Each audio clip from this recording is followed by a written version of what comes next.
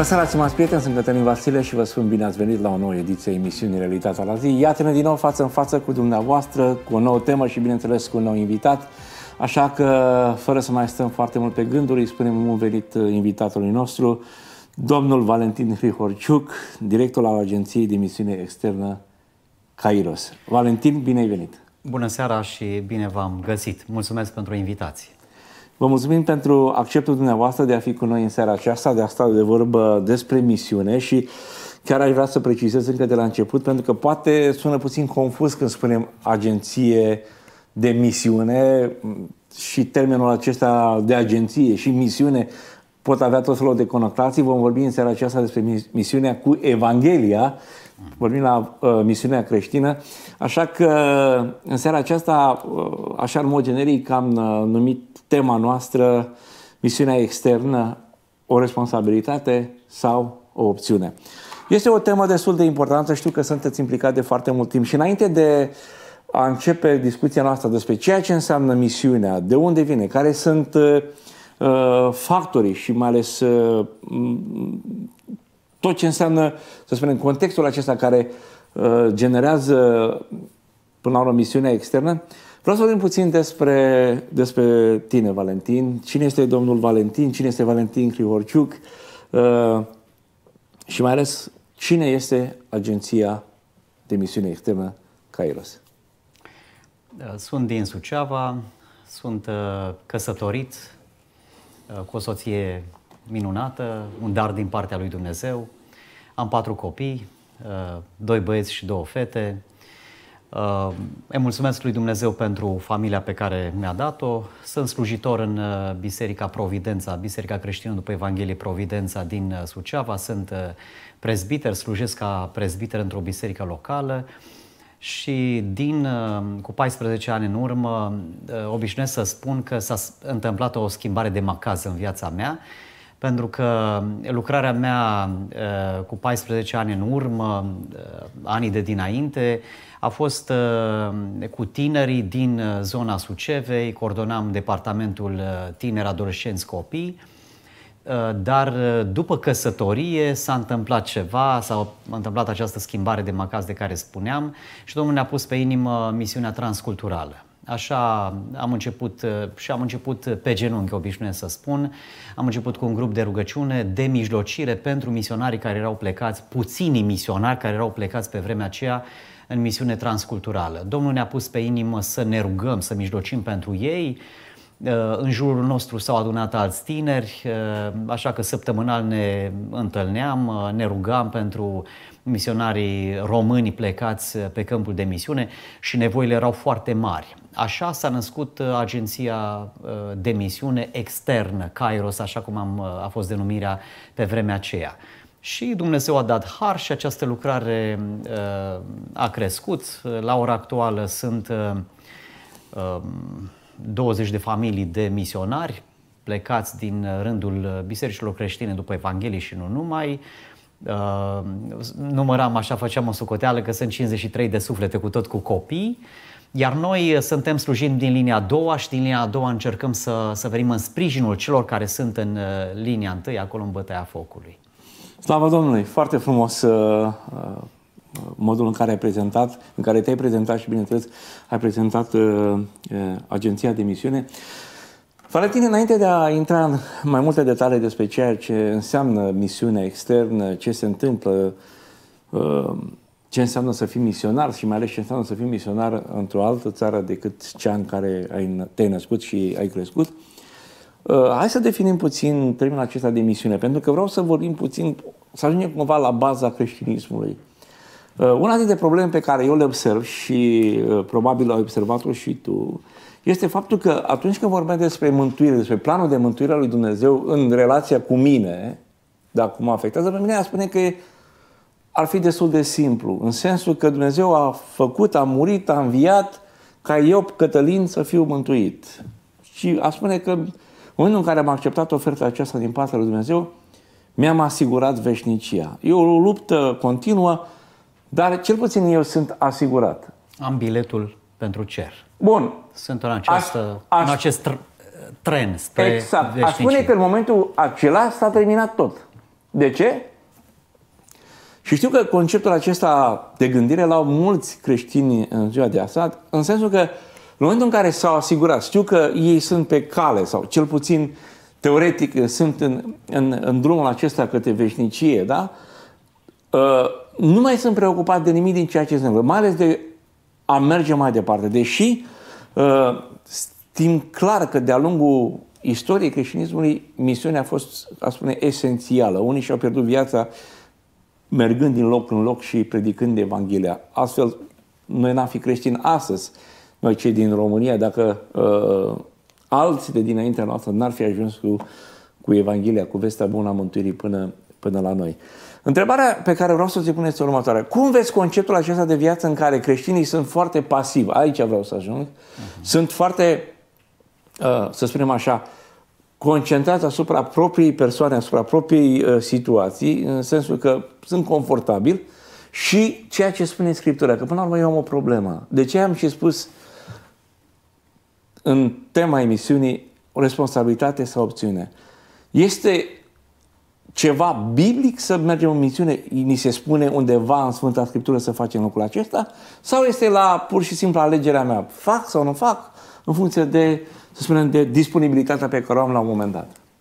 Uh, din start vreau să spun că misiunea este hotărârea lui Dumnezeu. Dumnezeu a poruncit. Dumnezeu a lăsat această poruncă. Uh, Dum- misiunea izvorăște din inima lui Dumnezeu. Dumnezeul nostru este un Dumnezeu misionar.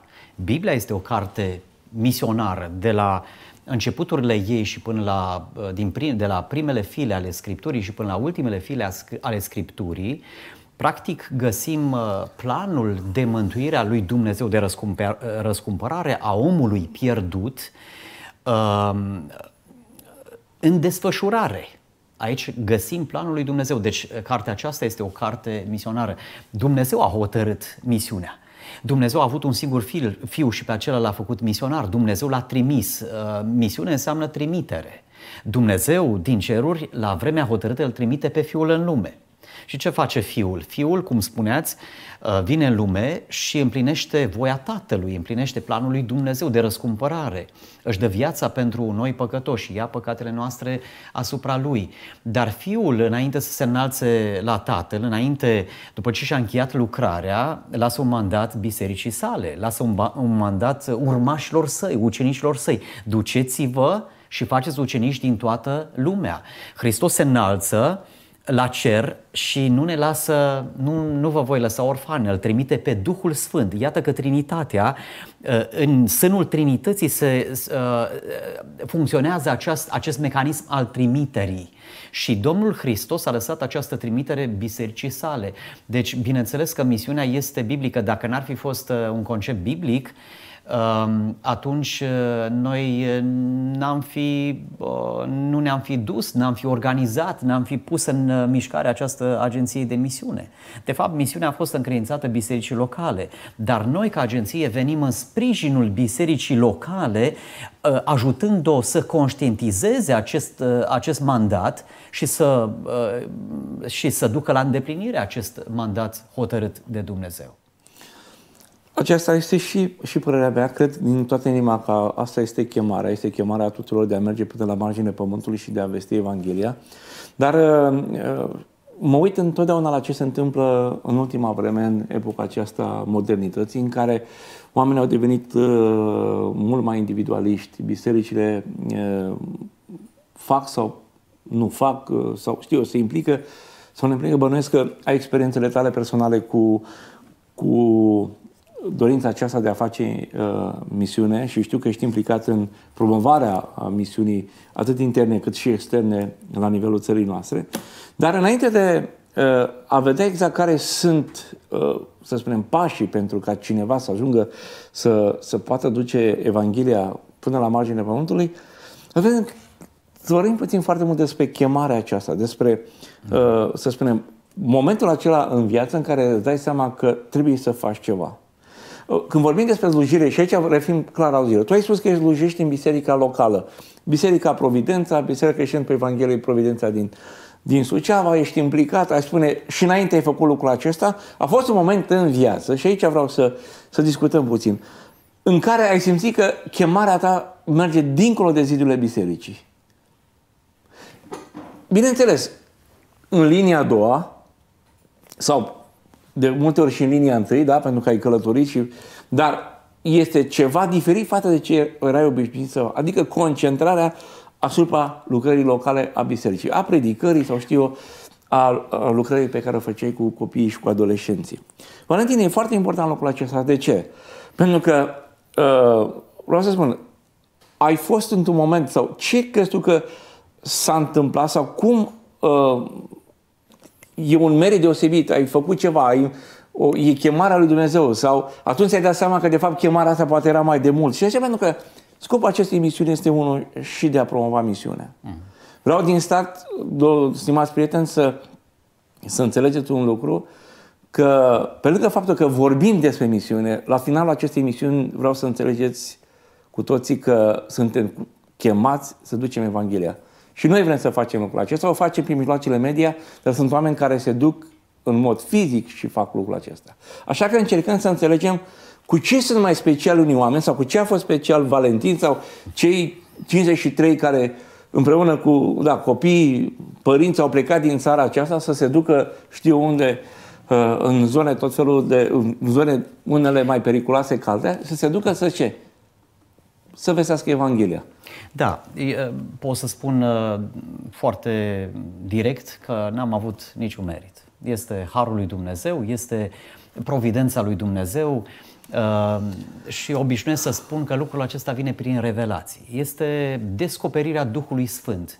Eu nu știu cum să cataloghez, cum să, ehm, cum să eh, analizez situația aceasta, să spun că unii n-au pasiunea aceasta, nu au deschiderea aceasta, nu au eh, viziune și pasiune pentru a vesti Evanghelia mm, tuturor neamurilor, Ehm, la mine, în viața mea, a venit prin descoperire. Eu cred că Dumnezeu este un Dumnezeu providențial și în providența Lui El a orchestrat eh, lucrurile. Privind în, eh, în, eh, așa, în urma pașilor mei, eu am terminat limbi străine, am terminat rusă și ucraineană și foarte interesant că în clasa 12 eu mă gândeam la de ce învăț, îmi puneam întrebarea aceasta, de ce să învăț eu ucraineană, de ce să învăț eu rusă? Și mai târziu am descoperit de ce. În inima mea, chiar la vârsta de 18 ani, 19 ani, eu mă gândeam că s-ar putea să-mi folosească această limbă să mărturisesc Evanghelia fraților mei din, din Ucraina și nu doar fraților mei, eu știu, compatrioților mei, să zic așa, să vestesc Evanghelia, să mă folosesc de această limbă. Și Dumnezeu mi-a dat prilejuri, ocazii, în Mongolia, de exemplu, când am avut ocazia să mărturisesc uh, unei profesoare de limba rusă, care era pe patul ei de, de, de moarte, să-i vestesc Evanghelia în limba rusă, pentru că mongoleză nu cunoșteam, dar am vestit Evanghelia în limba rusă și femeia și-a predat viața Domnului și a fost botezată acolo în, pe pat de spital și atunci am zis s-a meritat să învăț rusă măcar pentru sufletul acesta, căreia am vestit Evanghelia într-o limbă cunoscută în care am putut să comunicăm și femeia aceasta să-și predea viața uh, Domnului Isus Hristos. Uh, dar privind în urmă, văd cum Dumnezeu a orchestrat lucrurile și pot să spun că chiar și prin căsătoria mea, soția a avut pe inimă uh, dorința aceasta să plece în Yemen. Și Dumnezeu i-a închis ușa spre Yemen, n-a primit viză, eu știu, viața și-a urmat cursul, ne-am căsătorit, dar a venit o infuzie de misiune. Uh, perspectiva aceasta um, a venit în familia noastră și a început să se dezvolte, să crească. Și Dumnezeu deci Dumnezeu, nu pot să zic că am avut un uh, merit special în direcția aceasta, ci Dumnezeu ne-a pus pe inimă povara aceasta și ne-a deschis ochii și pot să spun că au fost momente de revelații când împreună cu grupul de tineri din Suceava stăteam pe genunchi, ne rugam și în timp ce ne rugam, Dumnezeu ne punea pe inimă Uh, fie să publicăm revista în care să publicăm scrisorile de informare ale misionarilor, fie să organizăm, uh, eu știu, campanii de evangelizare în țările vecine, în România, în Suceava, în speță, eu știu, în uh, localități din Moldova și apoi în Republica Moldova, în Ucraina și apoi am îndrăznit să pășim mai departe. După Ucraina am făcut un pas al credinței spre India, unde aveam o familie de misionari, apoi un, pas, un alt pas al credinței spre Myanmar și acela a fost un moment când am realizat și am conștientizat, da, e posibil și, și misiunea este și pentru români. Este posibil și pentru bisericile din România să trimită, să se ducă și pe vremea aceea finanțele erau așa de puține, o călătorie în India era atât de dificil de organizat, erau lucruri noi, lucruri noi pentru noi. Dar Dumnezeu ne-a dat har și lucrurile au crescut pas cu pas. Îmi place că ai zis un lucru foarte important, că e timpul și pentru noi, pentru români, să mergem mai departe. Trebuie să recunoaștem, Valentin, și vreau să scot, scot în evidență, uh, să spunem, ceea ce s-a se întâmplat, de fapt, în anii 90, atunci când mulți misionari veneau în România și, și după 2000 chiar, Uh, multe fundații s-au deschis în perioada asta de după Revoluție. Au fost un, un moment așa de, de binecuvântare pentru, pentru România, în care foarte multe lucrări au început. Lucrări cu copii, lucrări cu tot felul de activități acestea sociale, inclusiv misionari care au venit din străinătate, au investit, s-au construit foarte multe biserici. Dar, uh, iar România spre noi că au fost tot învățați ca să li se facă, să spunem, să li se slujească, să li se dea, să li se uh, ofere ajutor și tot așa, să, să fie învățați de alții. E, cred că după 30 de ani sau, na, uh, după o perioadă de după uh, această, să spunem, perioadă în care Dumnezeu a binecuvântat România cu tot ce a trebuit, zic eu, din punct de vedere a, a, a ceea ce e nevoie pentru lucrare, este și timpul ca Uh, perfect a spune ca românii să facă și ei la rândul lui ce au făcut alții pentru, pentru noi. Să mergem mai departe și să, și să vestim Evanghelia. Mai mult, mi-a plăcut foarte mult că în chemarea ta și vreau să știți, stimați prieteni, că este un model sau un pattern, cum îi se spune în limba engleză, destul de cunoscut. După ani de zile, când faci o anumită lucrare, asta pot să spun și despre mine, îmi dau seama că acum, după ce fac uh, lucrarea aceasta și am trecut aproape de 44 de ani, îmi dau seama că toate lucrurile și tot ce mi s-a întâmplat în viață, de fapt erau niște mici etape și a ceea ce fac acum. Practic, toate lucrurile mergeau în direcția aceasta, deși acum poate 10 ani nici nu mă gândeam că voi ajunge vreodată să stau în fața unei camere de la vedere și să vestesc Evanghelia imediat. Deci, așa că îmi pune Dumnezeu pe inimă, când Dumnezeu face chemarea aceasta, îți dai seama că toate planurile, și atunci când închide ușa sau ușile Deschide altele. Deschide altele și, până la urmă, drumul merge în direcția asta. Slavă Domnului că are grijă de noi. Uh, Valentin, acum hai să mergem puțin în zona aceasta a misionarilor. Uh, vreau să spunem, știți de ce? Pentru că sunt oameni care sunt încântați să asculte povești, întâmplări. Uh, unele se pot spune, unele nu se pot spune, pentru că mulți dintre misionari sunt în zone dintre acestea de risc și pentru protecția lor uh, putem să discutăm sau putem să nu. Dar, în general, am observat în mărturiile și în ceea ce se întâmplă cu, despre viața misionarilor, mai ales în zonele acestea cu mare risc, oamenii sunt încântați să asculte, sunt încurajați.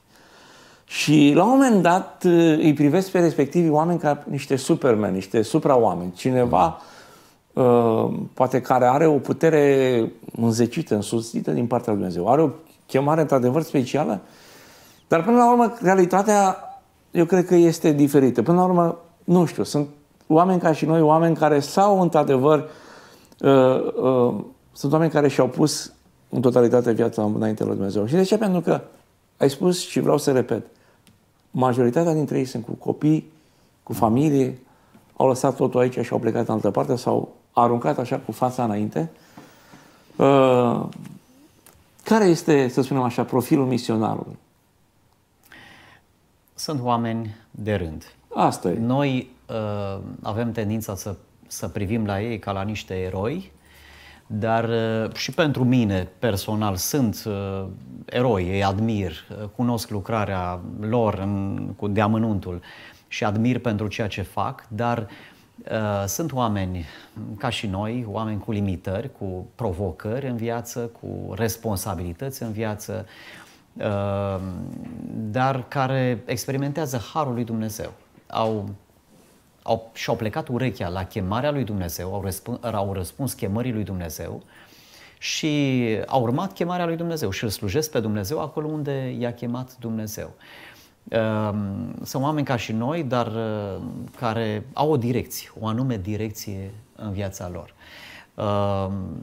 Ehm, aceștia slujesc, îl slujesc pe Domnul, unii dintre ei în zone și majoritatea în zone foarte aride, în zone dificile, pe mai multe continente, o parte din ei slujesc pe Domnul în Africa, ehm, într-o cultură animistă, alții în jungla amazoniană, alții într-un context musulman, alții, eu știu, într-un context, într-un context hindus și tot, sunt tot felul de, de, de provocări specifice. Gândiți-vă la copiilor care ar trebui să meargă la o școală și atunci se pune problema la care școală să meargă, la una locală, la o școală internațională, dar dacă nu este școală internațională, ce opțiuni au? Homeschooling-ul este, educația la domiciliu este o, este o opțiune, dar uh, oamenii aceștia au nevoie de, de, de ajutor din, din partea bisericii locale, din, uh, din linia a doua. Deci ca o lucrare misionară să, să înceapă este nevoie de mai mulți factori și asta vreau să înțelegem întreaga uh, fotografie, să spunem. Uh, în primul rând este nevoie de omul care a înțeles chemarea. Da. Acesta este misionarul. Da? Apoi mai sunt nevoie câteva alte aspecte care să completeze lucrarea aceasta. Care mai sunt și celelalte? Mm, imaginați-vă un triunghi. Misionarul, câmpul, câmpul de misiune, misionarul, biserica și agenția. Deci câmpul de misiune reprezentat de misionar, agenția de misiune și biserica locală. Uh, considerăm că uh, trimiterea, uh, chemarea o face Dumnezeu, dar biserica locală recunoaște chemarea Duhului Sfânt în viața unei persoane și biserica locală își asumă trimiterea. Deci biserica este cea care îl trimite pe misionar în câmpul de misiune. Uh, agenția asistă biserica locală în acest pro- proces de trimitere. Uh, misionarii, vorbeați de profilul unui misionar, uh, majoritatea dintre ei au avut o slujbă, au terminat o facultate, au terminat o școală. Unii dintre ei au început o carieră, fie au lucrat în calitate de aitiști sau, eu știu, au predat la școală sau au avut un serviciu, un job. Uh, și apoi uh, lucrurile au prins o altă direcție în viața lor. Uh, biserica locală este chemată să-i sprijine, să-i ajute în, uh, ca acești misionari să-și atingă scopul acolo pe câmpul de misiune. Dar de, de, de cele mai multe ori um, biserica nu are toate pârghirile și aici intervine agenția.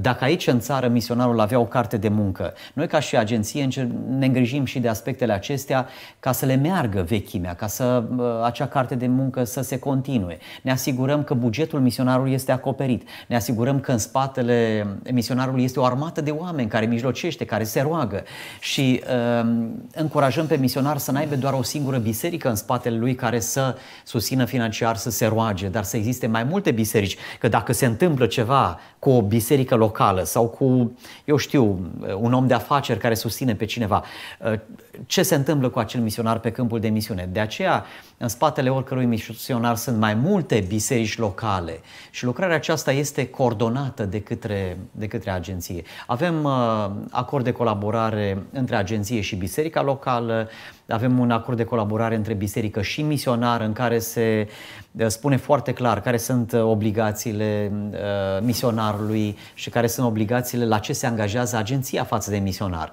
Și în același fel cu biserica locală, la ce ne angajăm noi, care este partea noastră, ce acoperim noi și care este responsabilitatea bisericii locale.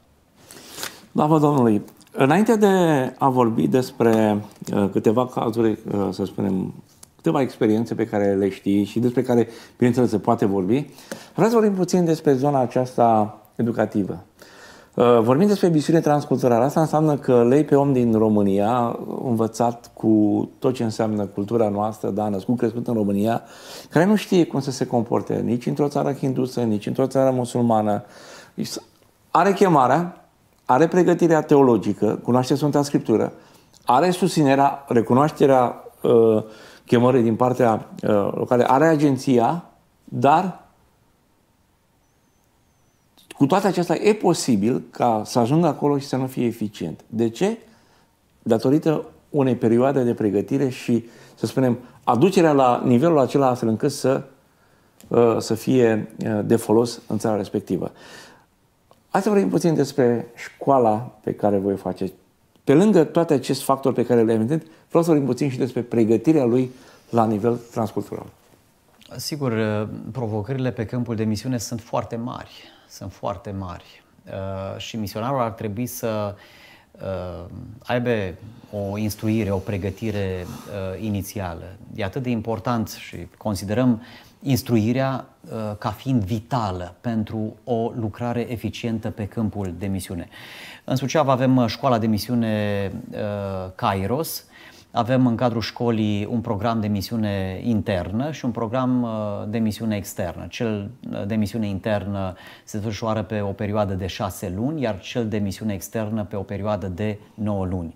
Și în cadrul acestei școli, uh, studenții fac cursuri, cum ar fi cursuri de adaptare culturală. Uh, învață despre ce presupune o cultură diferită, despre valori, convingeri, um, ce, ce se observă la, uh, în exterior, uh, comportamente, dar în spatele oricăror comportamente există niște valori și niște convingeri ale unor reprezentanți ai unor culturi.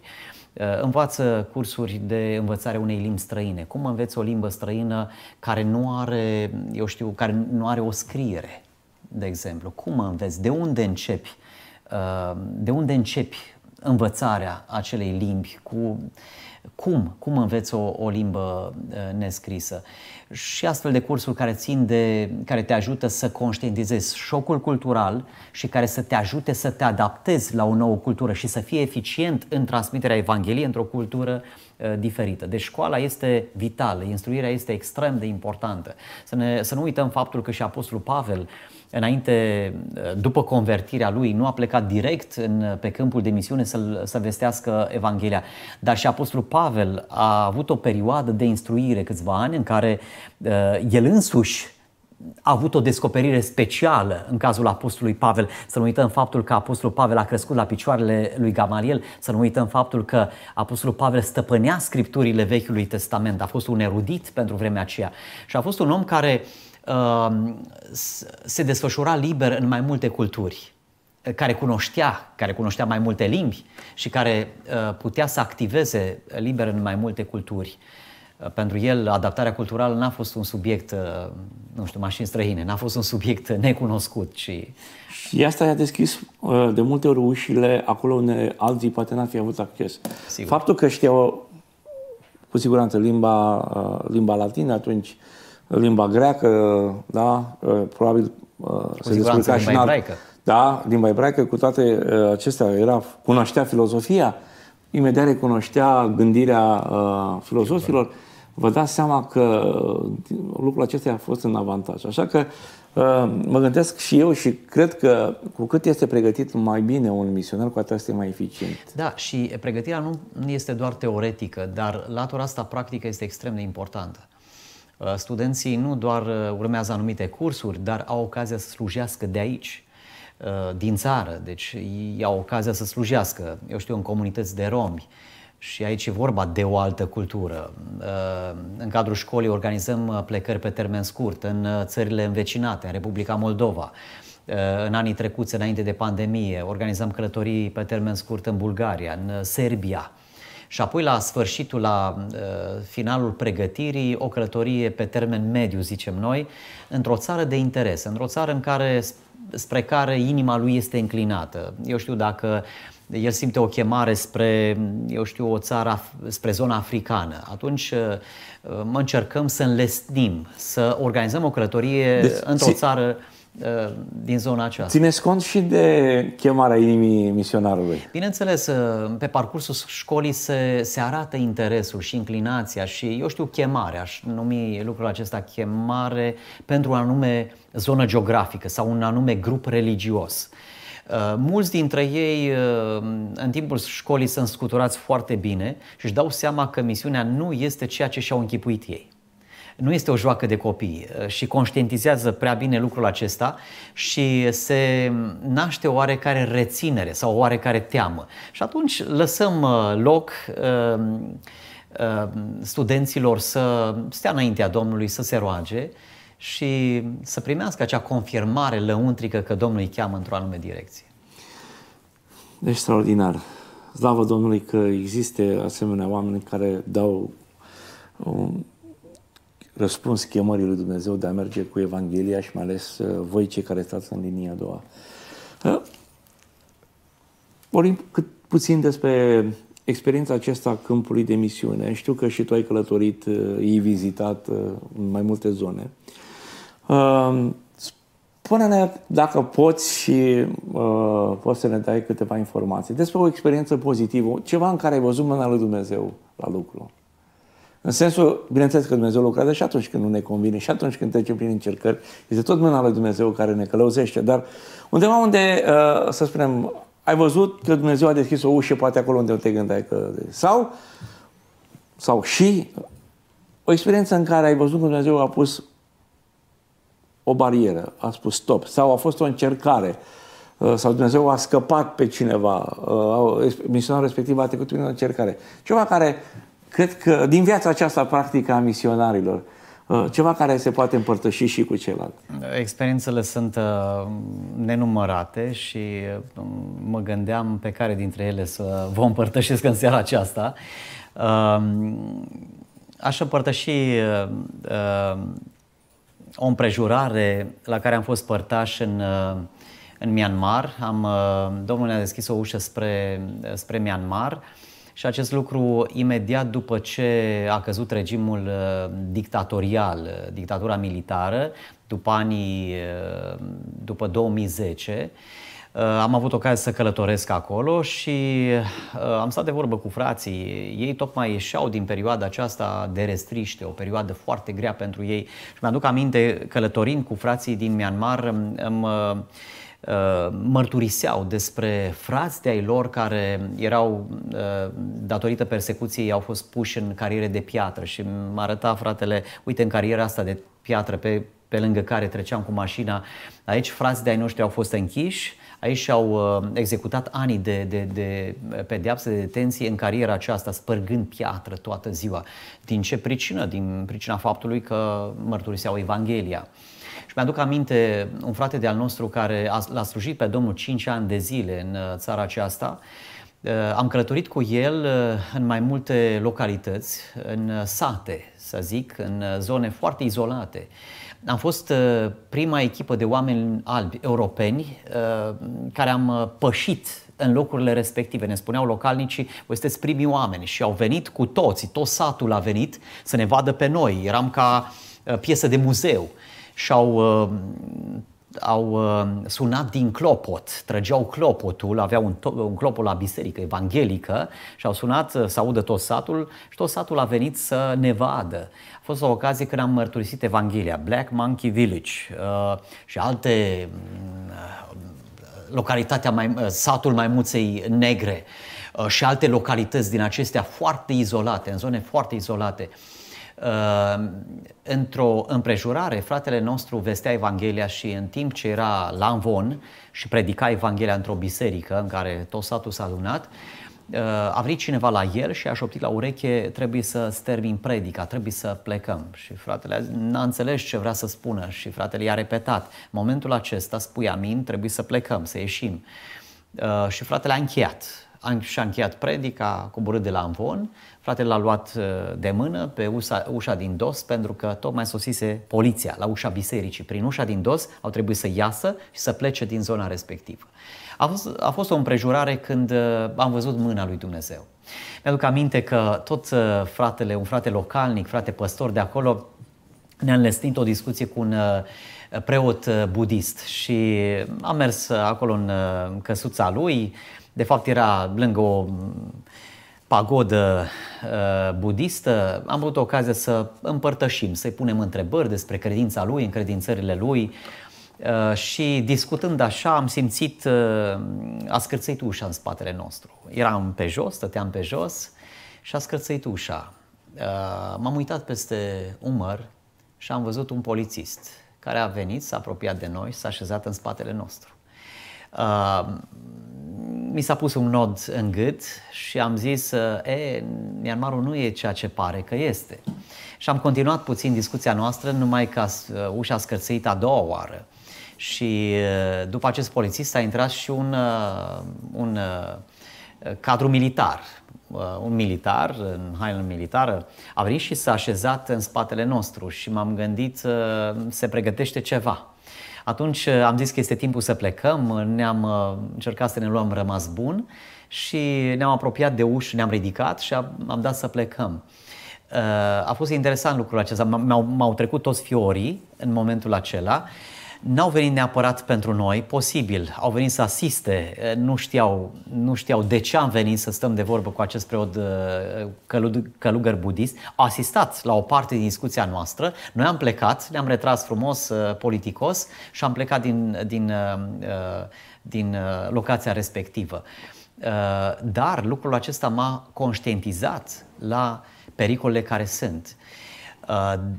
În a doua noastră călătorie, stând de vorbă cu fratele Cho din uh, Pinolwin, din uh, Myanmar, a zis, frate Valentin, știi că în prima voastră călătorie, când ați venit aici, a trebuit să dau raport la autoritățile locale și a trebuit să spun ce ați predicat în biserică. Deci, practic, tot ce am făcut uh, și toate deplasările noastre au fost monitorizate, chiar de unii frați din biserică, care au datoria să informeze autoritățile.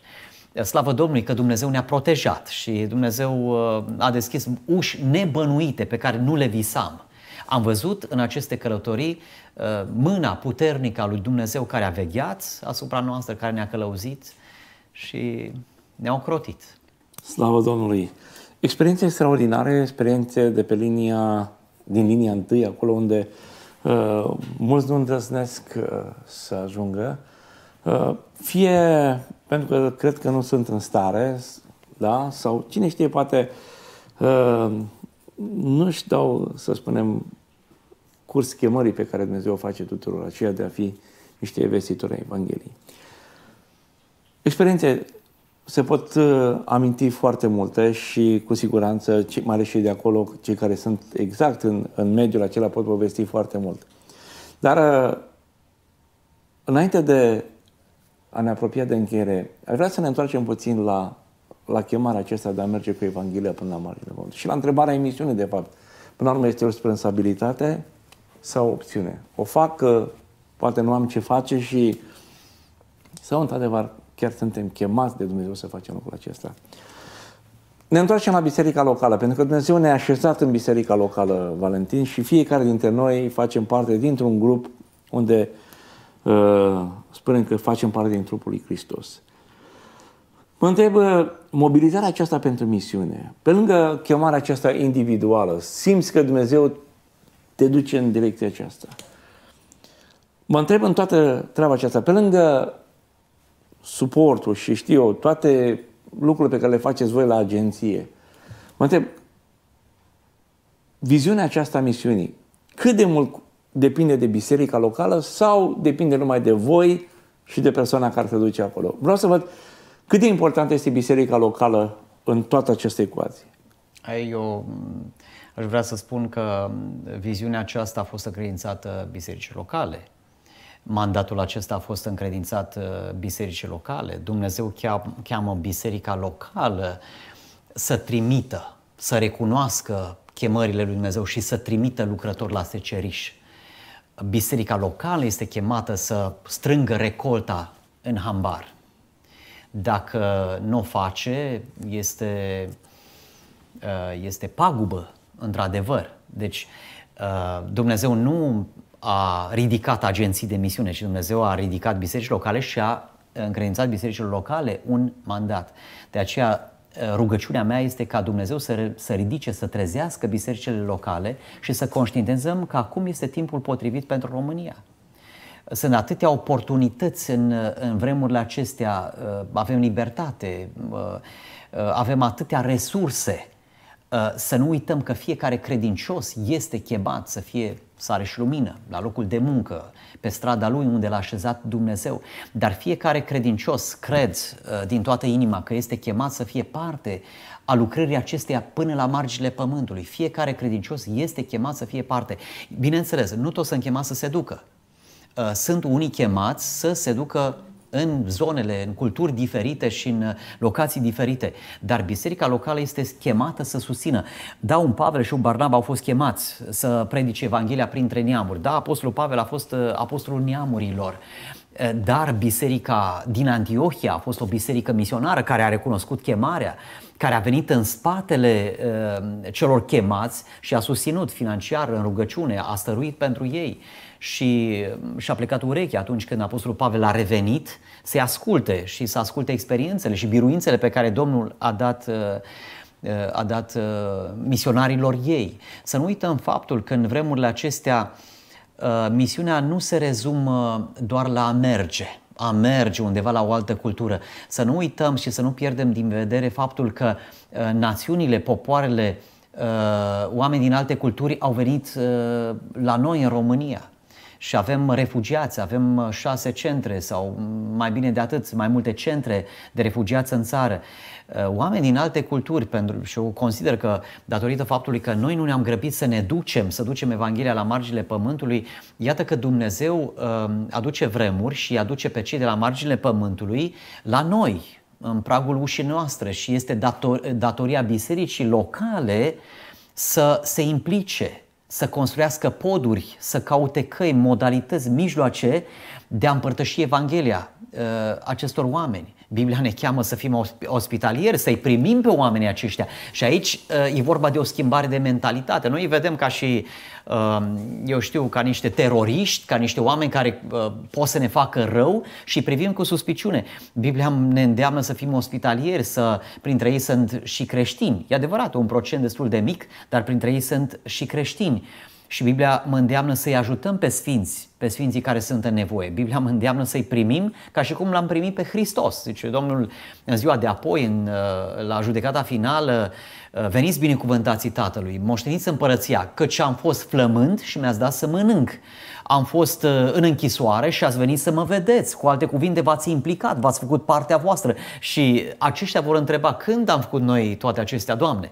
Și el va răspunde atunci când mi-ați făcut, ați făcut unuia dintre micuții aceștia, aceste lucruri mie mi-ați făcut. Domnul se identifică cu aceste categorii vulnerabile, să zicem, cu acești refugiați, cu acești uh, orfani, săraci și oameni uh, care sunt atât de vulnerabili.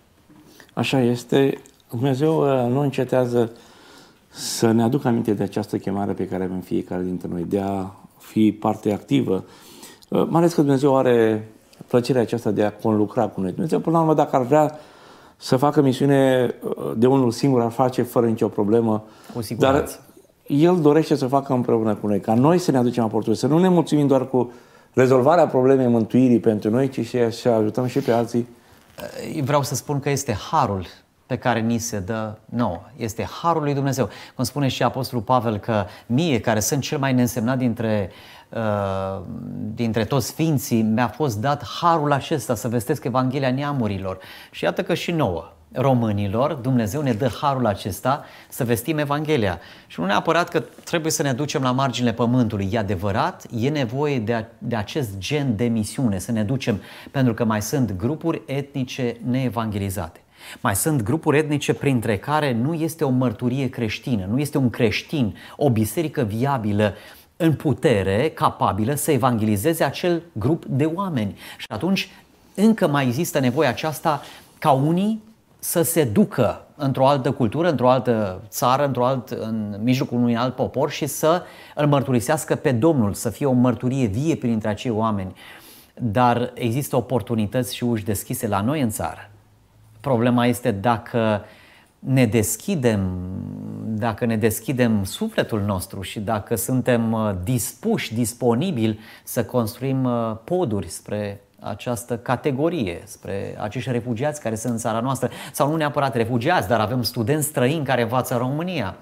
avem oameni de afaceri, avem uh, lucrători străini din alte culturi care lucrează în, la diverse companii la noi în țară și este un aflux în creștere, este un uh, Uh, numărul de lucrători străini uh, este în creștere în România. Iată că sunt companii în România care au nevoie de, de forță de muncă și se aduce forță de muncă din uh, Vietnam și din Cambodgia și din Nepal. Nepal, care e o forță de muncă căutată în România. Eu mă întreb cât apucăm prilejul.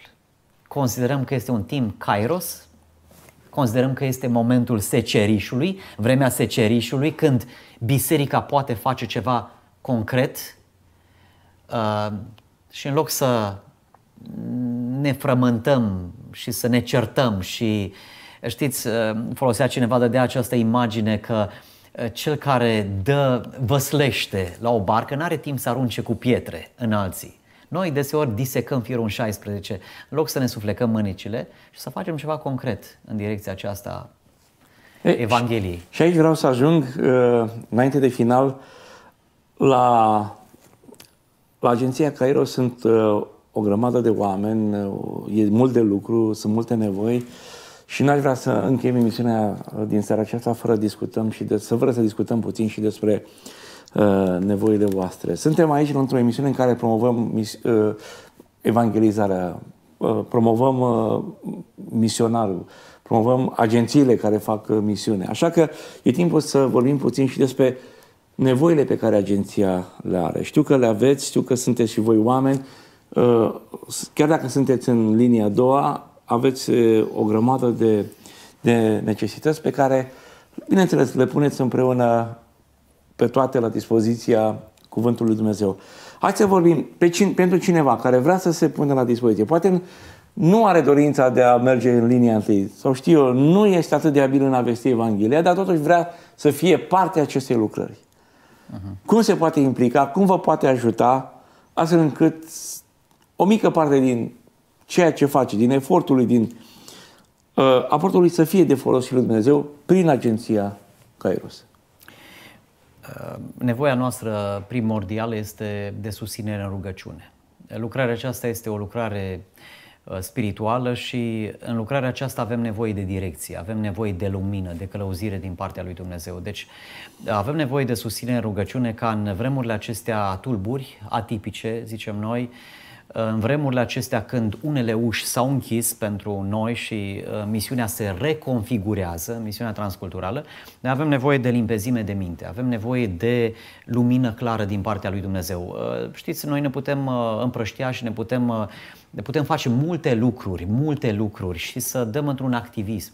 Dar este foarte important să avem direcții clare în vremurile acestea, să știm care este direcția, la ce ne cheamă Dumnezeu, pentru că nu suntem uh, suficienți să le facem pe toate. Uh, de aceea, în vremurile acestea avem nevoie de claritate, de lumină din partea lui Dumnezeu și apoi uh, avem nevoie de resurse umane. Avem nevoie de voluntari în slujirea aceasta. Sunt multe aspecte din linia a doua, din activitatea agenției, în care avem nevoie de ajutor. Uh, și vorbesc aici, eu știu, de departamentul de uh, publicații, de exemplu. Avem nevoie de oameni care să ne ajute la traduceri, la, eu știu, corectură, uh, publicăm cărți anual. E nevoie, aici este o vorba de o muncă foarte meticuloasă și e nevoie de persoane dăruite în, în direcția aceasta. Avem nevoie de mobilizatori. Știți, trăim niște vremuri foarte ciudate. Eu nu cred că România, la ora actuală, și bisericile evanghelice din România fierb, sunt în clocot pentru a vesti Evanghelia la marginile pământului. Eu mă rog ca Dumnezeu să trezească bisericile noastre și uh, să ne ridicăm privirile. Știți cum spune Domnul Isus într-o împrejurare, ridicați-vă ochii și priviți holdele. Noi prea mult privim în interior. Și eu nu zic, lucrarea uh, bisericii locale este necesară. În vremurile acestea, e, lucrarea spirituală este o uh, istovitoare și orice păstor, orice prezbiter privește la lucrarea uh, uh, bisericii locale. Eu știu că e vorba de cor, că e vorba de lucrare cu tinerii, de copii și lucrările acestea sunt necesare și sunt de mare valoare. Dar eu zic că în vremurile acestea să ne ridicăm ochii.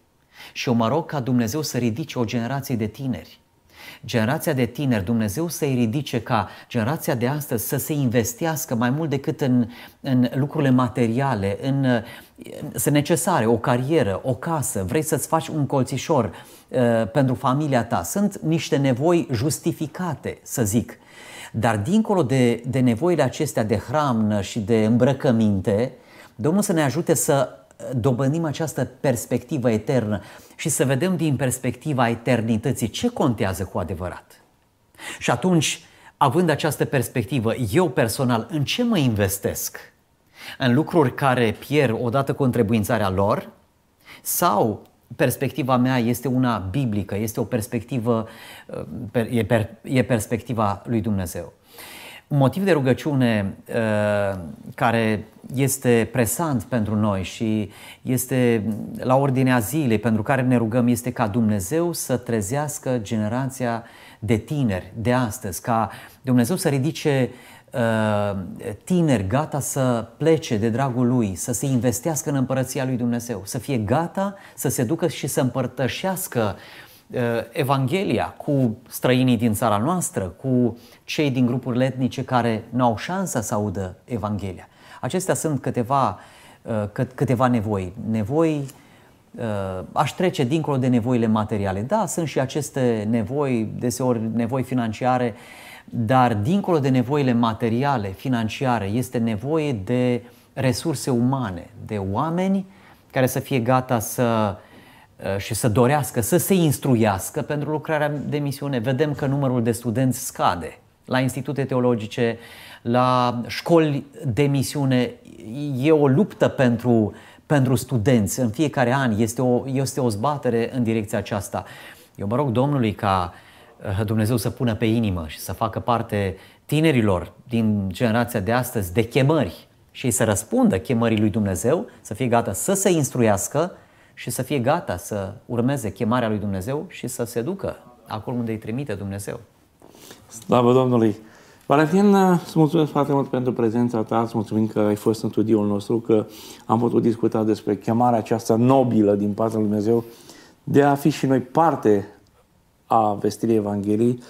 Ehm, ne rugăm pentru Agenția Kairos, pentru voi din linia a doua și pentru cei care sunt în linia întâi, Uh, te mai așteptăm și la alte emisiuni și, bineînțeles, uh, ori de câte ori este nevoie ca ceea ce faceți voi să fie transmis și pe undele acestea uh, ale internetului, suntem alături de voi și mulțumim Domnului pentru ceea ce faceți.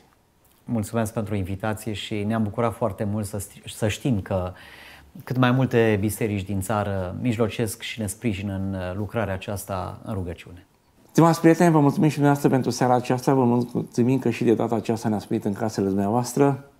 Noi de aici vă salutăm și vă spunem la revedere!